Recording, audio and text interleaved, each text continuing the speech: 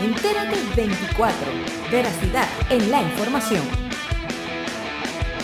Saludos amigos de Entérate 24. A continuación te presentamos los titulares más resaltantes de hoy 25 de febrero. Nacionales. Más de un millón de temporadistas han visitado La Guaira. Vecinos de Chacao denuncian estar 45 días sin agua. Internacionales. Alerta. OMS se prepara para una pandemia por el COVID-19. 147 asesinatos se registran en Brasil durante huelga policial. Un día como hoy, hace 69 años, se inauguraron los primeros Juegos Panamericanos en Argentina. En nuestro portal web encontrarás una gran variedad de recetas de la gastronomía colombiana. Visita nuestra página web, actívate en nuestras redes sociales y mantente informado. Entérate 24, veracidad en la información.